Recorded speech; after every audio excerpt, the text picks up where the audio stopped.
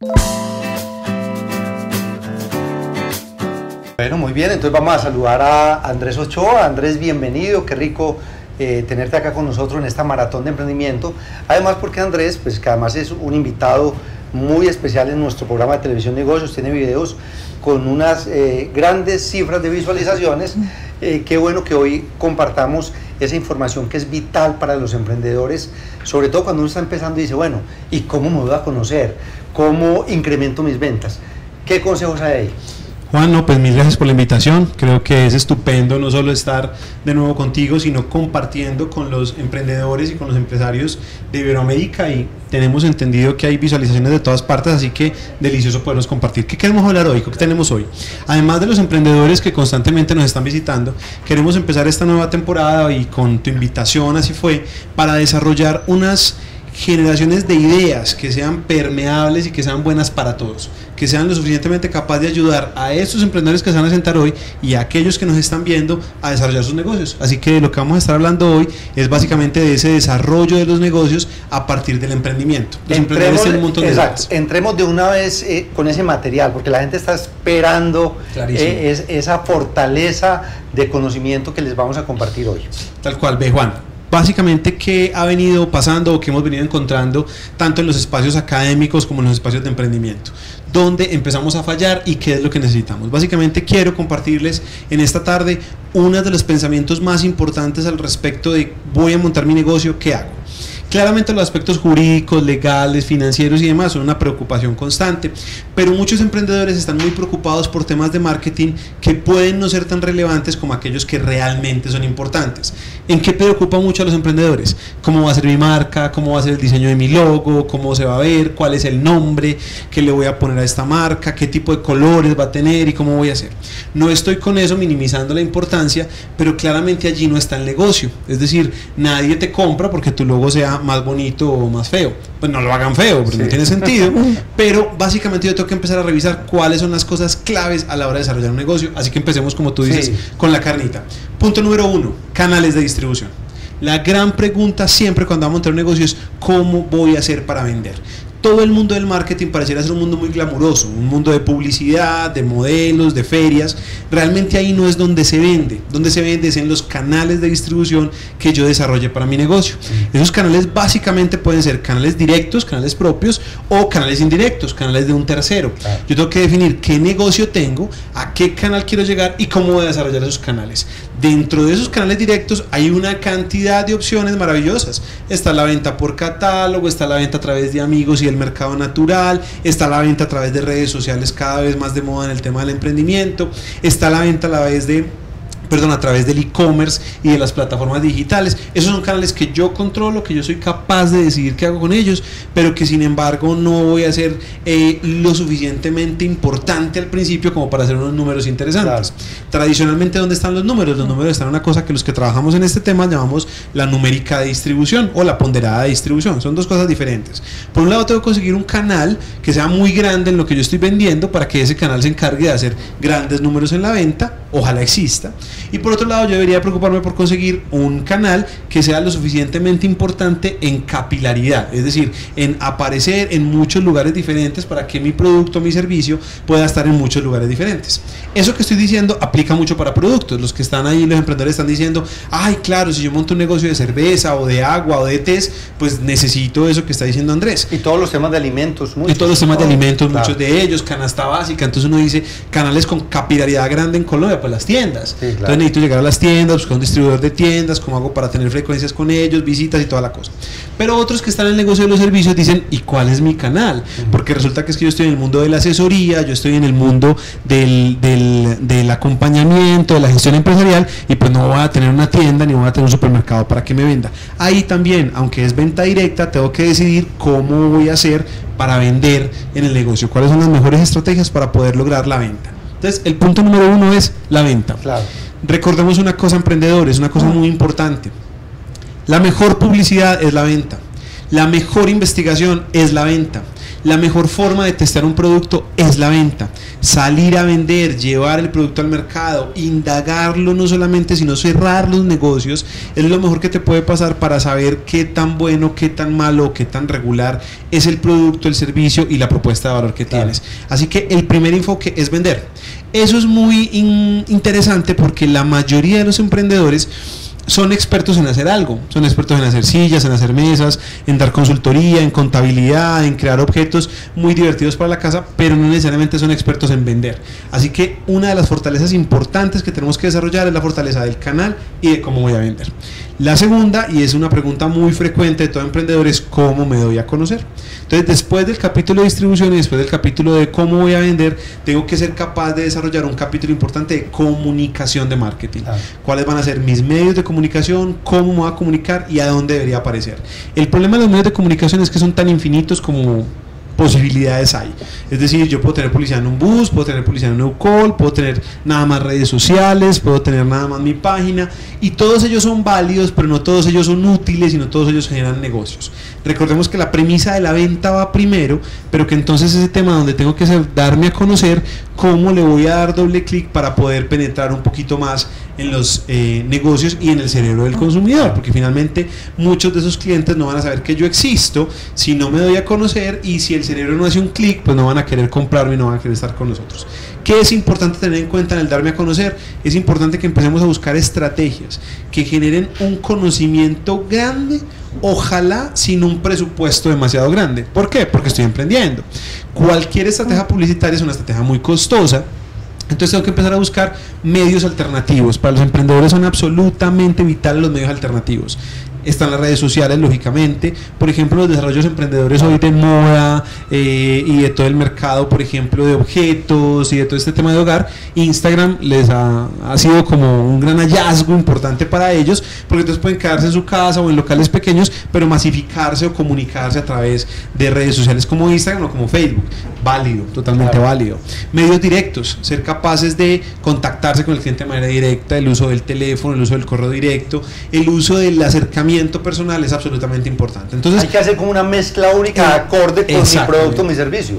Entonces tengo que ser capaz de identificar en qué negocio estoy, dónde estoy, dónde lo vendo, cuál es el canal y una vez identificado ese canal, cómo lo comunico para que el cliente haga clic conmigo. Vamos a hacer ahí una pausa. después, después de que vengamos con estos cuatro emprendedores, ¿qué vamos a tener? Va a, pasar, va a pasar una cosa supremamente interesante, Juan. Vamos a tener respuestas a preguntas como esas que nos y además hacer nos por YouTube, por Facebook y por Exactamente, porque el sentido de estar en vivo. Digamos, Twitter, arroba negocios en TM, Facebook, negocios en TM y obviamente en el chat de YouTube que estaba justamente ahí en el eh, a la derecha de esta pantalla. Clarísimo, ese, ese, disparadero de preguntas es fundamental y eso es lo más interesante que vamos a tener. Pero además vamos a tener algunos tips claves, específicos y muy tácticos, muy prácticos para desarrollar negocios a través de canales de distribución o de mi propio canal y para poder darme a conocer y tener un negocio que empiece a ser exitoso desde el principio. Así que muy bien Andrés, muy interesante. Vamos con Andrés Ochoa ya en la parte final de esta maratón de emprendimiento que nos va a dar la segunda parte de lo que nos traía preparado para los emprendedores y ya luego hacemos unos minuticos para resolver las preguntas que ellos nos formularon, pero también algunas que nos llegan aquí por el chat. Buenísimo, Juan. No, creo que el programa ha estado maravilloso y que las preguntas han estado maravillosas. Entonces, voy a tratar de retomar donde estábamos y de buscar como los puntos claves. Entonces, canal y comunicación. Incluso veíamos que nuestros emprendedores tienen esas mismas preguntas y que son preguntas parecidas, habían unas un poquito eh, más retadoras o diferentes, eh, y no es que las otras no fueran retadoras porque hay problemas complejos, sino que nos ensalzan como en otro punto.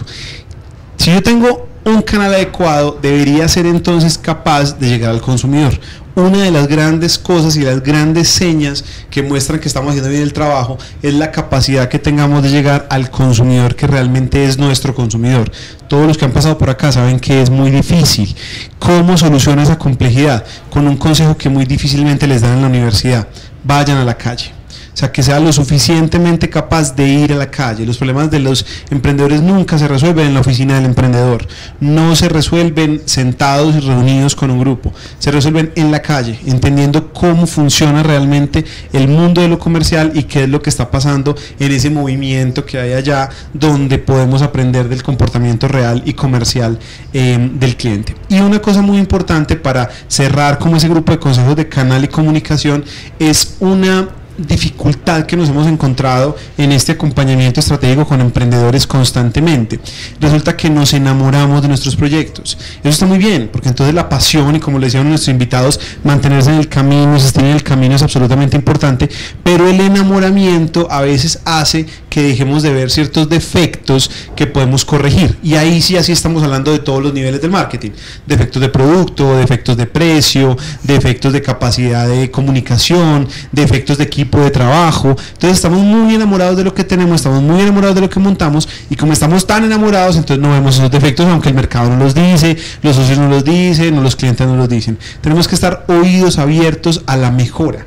La mejora siempre proviene de lo que está afuera nosotros somos capaces de mejorar hasta un punto. Luego el mercado empieza a decirnos, hombre, yo quisiera tal cosa, quisiera mejorar tal otra, quisiera desarrollar otra, pero tengo que estar oídos abiertos allá en la calle de cómo mejoro puede que sean mejoras muy, muy sutiles. Voy a ponerte ejemplos. La venta de carros en Colombia se dispara cuando alguien mejora el sistema de financiación.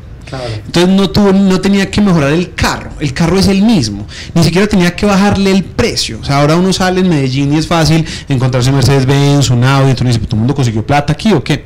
Lo que hiciste fue que cambiaste la forma de financiación. Entonces el carro sigue valiendo los mismos 100 millones de pesos, pero ahora lo que le estás diciendo es, mira, hagamos una cosa, como tienes 50, el carro que tienes de marca cualquiera, pues dame esos 50, te montas en este y los otros 50 me los pagas en 4 años eh, o, en, o, en, 2 años 25, 25. Entonces él dice, no, pues maravilloso, o sea, yo eso soy capaz de conseguirlo. Entonces piensen que ese encontrar la alternativa de dejar de estar enamorado de lo que he tenido, de lo que tengo siempre, de la idea que tuve y empezar a pensar en los cambios que puedo dar, que pueden ser en producto, en financiación, como les acabo de decir, inmediatamente haces un clic. Piensen en el cumis.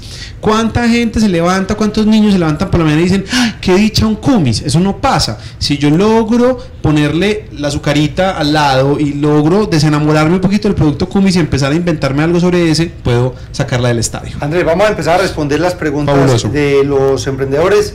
El primero era Álvaro Aguirre, él decía, recomiéndenos un libro, una película, un lugar y un personaje. Perfecto. Eh, Álvaro, me encantó tu reto. Eh, hay algunas estándar que todos conocen, pero entonces cambié la respuesta. No te voy a recomendar una, sino tres en cada uno de los puntos. Y para todos.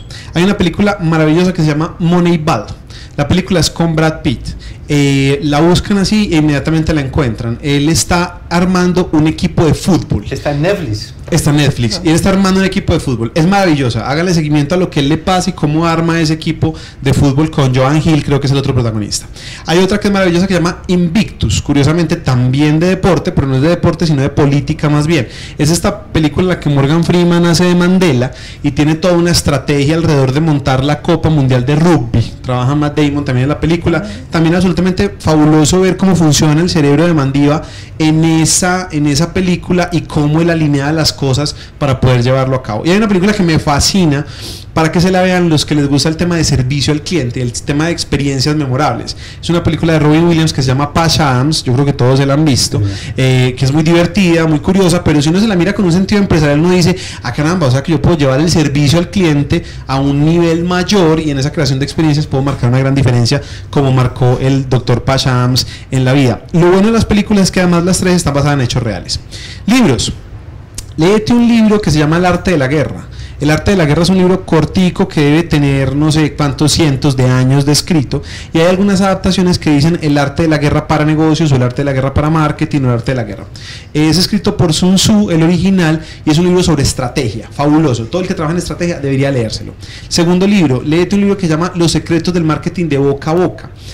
Todos los que pasaron por esta mesa tenían una estrategia de marketing de voz a voz ¿Por qué? Porque somos emprendedores. Esa es la estrategia de marketing. George Silverman escribe un libro que se llama Los secretos del marketing de boca a boca, que explica cómo puedo potenciar el marketing boca a boca para que sea un marketing controlable, administrable y demás. Andrés, y hágame el favor que hace el listado del libro Historias de negocios altamente inspiradoras. Ese era el tercero. Entonces vamos a tener que leernos Historias de negocios altamente inspiradoras, el libro aquí de mi doctor, que además de eso nos permite dar una revisión que es muy divertida, muy fácil, muy dinámica, con un montón de ayudas visuales visuales, en videos, con entrevistas y nos permite acercarnos a qué han hecho los emprendedores y emprendedores no solamente el chiquitico, sino cómo emprende uno un proyecto en Suramericana, porque esas grandes compañías también tienen procesos de emprendedores adentro. Un lugar, el centro. No sé en qué momento dejaron de ir al centro. El centro es el fogón, donde pasan las cosas, eh, donde ocurre el tema, donde está el calor, donde hay gente a pie y bajándose del bus. Ese lugar es maravilloso. Un lugar por fuera de ese es Orlando, Florida. A mí Orlando, Florida me encanta porque además de que me subo a la montaña rusa, veo negocios nuevos por todas partes. O sea, este como se le ocurrió este negocio, a este como le ocurrió este otro, a este como le ocurrió este otro. Pero pues eso suena como muy pinchado y muy snob. Solamente como inversión en función de alguien tiene un negocio montado de hacer esto. Ahí te inspiras un montón. Y el personaje. Hay otro lugar, ya voy a ver con el personaje, hay otro lugar maravilloso que son los nuevos proyectos. Estamos llenos de nuevos proyectos, nuevos centros comerciales, nuevas tiendas, nuevas formas de hacer negocios. Vayan y visítenlos, conozcanlos. Así no tengan nada que ver con ustedes, van a aprender cantidades. Y el personaje, hay unos que a mí me parecen fabulosos y es buscar en los personajes que inspiran grandes historias del mundo porque ellos han cambiado el mundo. Claramente está muy tallado el tema de Steve Jobs, el tema de eh, empresarios grandes, el tema del de En busca de la felicidad, Chris, no me acuerdo. Chris Garner. Chris Garner. Pero entonces, ¿cómo somos capaces de buscar esos personajes que cambian mundo a partir de lo que hacen? Desde el Papa, pues, hasta los que vienen de ahí para abajo. La otra pregunta. Bueno, eh, nos decía Linda Yasmín de Isa Decía, ¿cuál es la forma correcta de darme a conocer a las microempresas y comerciantes que son los que más ayuda contable necesitan, pero tienen menor capacidad económica y son reacios a recibir ayuda? Esa es una respuesta bastante rápida que te puedo dar, pero tienes un problema en la aplicación de la respuesta y en la perfilación del costeo y de todas estas cosas, pero eso lo tendríamos que hablar más largo ecosistemas empresariales. Resulta que hay una regla fundamental de los microempresarios y pequeños empresarios que todos se conocen. Son amigos, son familias, son conocidos en los sectores en los que se mueven. Entonces trata de buscar esos ecosistemas empresariales. Ese grupito de empresarios que se dedican a la comercialización de electrodomésticos, esos entre ellos se conocen. Ese grupito de empresarios que hacen blue en el centro, ellos entre ellos se conocen. Empezar a desarrollar una capacidad de atención para un grupo de un ecosistema empresarial específico te genera eh, unas maravillosos resultados y logra que crezcas muy rápidamente, claro, en ese sector. Y eso además tiene unas especialidades que puede ser muy interesante. Sin duda la Cámara de Comercio de Medellín, los congresos de esos mismos emprendedores funcionan muy bien y lógicamente la mejor forma es producto. Si tengo el mejor producto, el empresario aparece. La pregunta de Diego Albín, que es de Interdev, dice, ¿cómo posicionar una empresa de tecnología especializada que posee plataformas propias que buscan la eficiencia en las empresas, incrementar sus capacidades y potencializar el tiempo y productividad de las personas en las redes sociales y empresariales. Muy bonita la pregunta, muy bonito el negocio. Creo que hay que conocerlo más para poder dar un consejo muy redondo, pero la respuesta es la siguiente. En las redes sociales sean sociales un negocio como el tuyo no permite ser publicitario en las redes sociales. De hecho, casi ningún negocio permite ser publicitario en las redes sociales. Pero el tuyo tiene una cantidad de aportes de valor importantísimo que hacerle a los empresarios, a los emprendedores y toda la cosa, pero son aportes sociales. Es decir, me comunico, creo comunidades, desarrollo contenidos que pretenden vender nada, sino que aportan demasiado valor. Y al final, para el empresario va a ser claro que hacer clic contigo, que tienes tanto valor, va a ser muy próspero para la compañía. Y Luis Pérez, Luis Beltrán Pérez, de calidad mental, dice cómo venderle a la mente de las personas para que se haya quien decida y no a las personas que por ajetreo del día a día no dimensionan la importancia de su salud mental. Luis decía una cosa maravillosa y es que vender galletas es muy fácil. Em, yo siempre he dicho que vender Milo es muy fácil, muy bueno y todo el mundo le gusta. El tema que tiene es un tema complicado. La mejor forma de hacerla es aterrizarlo más. Se, tienes que ser capaz de ser más puntual de llegar a alguien y decirle, ¿sabes qué? Te voy a ayudar a que saque 5 en la universidad. Si tú se sientas con alguien y le dices eso, ese alguien te va a comprar. Si tú le dices, ¿sabes qué? Te voy a ayudar a que aprendas inglés, porque fracasas cada que intenta aprender inglés. Te voy a ayudar a eso, es más fácil de venderle. ¿Sabes qué? Voy a lograr que tu empleado que no se concentra, se concentre, pero de manera puntual y específica. Tengo que ser lo suficientemente capaz de bajarme del mundo de potencio la mente, creo escenarios, desarrollo cosas para que... No, no, no, tengo que ser capaz de decir específicamente desarrollo y hago de esto. Y la otra cosa que te funciona muy bien son las alianzas. Por ejemplo, hay en este momento un desarrollo importante en centros de desempeño, de rendimiento y desarrollo deportivo esos, ellos saben que el desarrollo de la mente es tan importante como el del cuerpo. Entonces, si tú llegas y dices, es que yo me encargo de todo el tema de proceso de crecimiento de la mente de, no sé, Mariana Pajón, eh, o el clavadista olímpico, James, etcétera, etcétera, si yo logro hacer alianzas con esos personajes que potencian cosas importantes, seguramente voy a tener una credibilidad y una audiencia mucho mayor que va a escuchar todo mi discurso. Dos preguntas finales. Juan Carlos Morales. Esta no es tan directa de, marketing, pero, es una muy buena pregunta. ¿Cuál es el número de socios ideal para iniciar un emprendimiento? Y, de pronto, ¿qué perfiles tendrían si se trata de algo que tenga que ver con eh, tecnología? El número de socios ideal es una pregunta sin respuesta porque es como el número de, personas en la universidad que tienes que sentar a trabajar juntos, pero sí te voy a dar un aporte muy importante. Hay tres personas que tú tienes que tener clarísimas y claves antes de arrancar un emprendimiento. Primero, el que vende.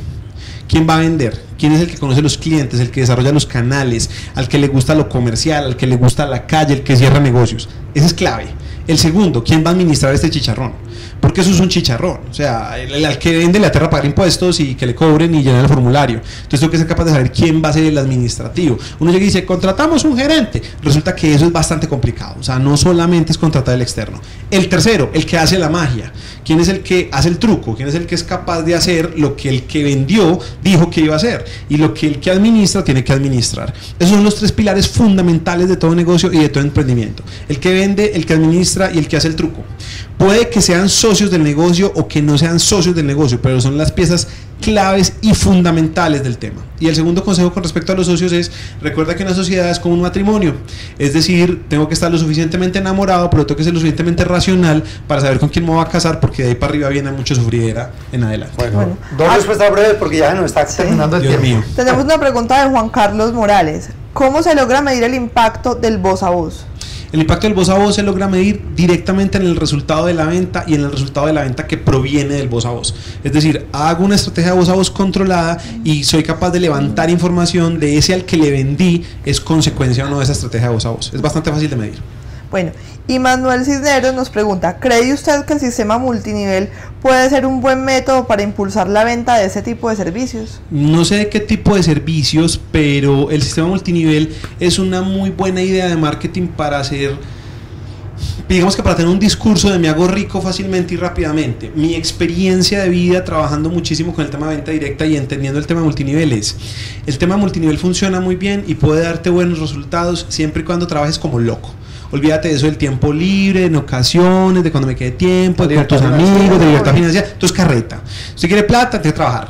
Y si está en un multinivel, tiene que trabajar mucho. Entonces, siempre piensen en que hay un gol, oro, diamante, adamantium del multinivel que le llegan cheques astronómicos de 200 mil dólares cada mes y que él es un muy feliz y él es el que da la conferencia a las 11 de la noche en Medellín un martes. A mí explíquenme por qué alguien que le llega un cheque sin hacer nada viene a dar una conferencia a Medellín un martes. Lo que está haciendo es trabajando como loco. Entonces, claramente, tanto con el sistema multinivel como con cualquier otro sistema, pues tienes mucho que trabajar. Ahora, si lo que quieres es diseñar un sistema multinivel de ventas, es bastante complejo y sería mucho más eficiente y mucho más ortodoxo diseñar un sistema de venta directa donde todos ganen por un proceso de venta, aunque eso es pesado logísticamente.